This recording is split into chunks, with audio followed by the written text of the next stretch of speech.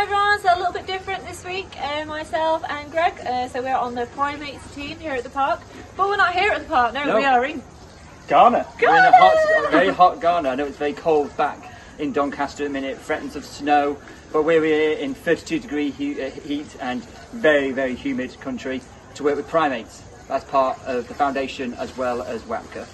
So we're not just here on a jolly holiday, no, we're going to be doing some amazing work, supporting the team out here, uh, and hopefully seeing some of the amazing animals in the wild as well. So join us uh, for the next three weeks as we take you on our keeper diaries to see what we're doing and what we're doing each day so you can see what's going on.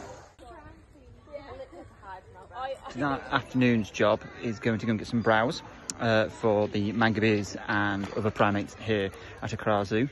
Now, we all know that browse is everything, especially to primates and hoofstock species. So here at the Wild, um, Foster, our guide, and uh, fellow keeper Jazz, is uh, being taught which browse to eat and which they're going to get. So then we're going to collect a big um, stack for the browse, then go and give it out to the primates as well. The type of browse we're going to be feeding today is a type of acacia.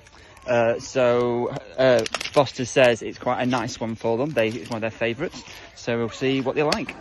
So Foster, what are you doing? Uh, so I'm just uh, handing over browse to Klaus, and this is Klaus. Um, that is um, Accra. And we have Yellow running the we have Austin.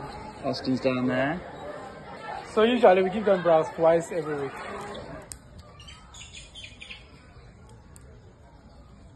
Currently just been out and collected some browse, I'm going to feed our spot nose, not that it wants to come over, so... You Lois one in there as well, little young one.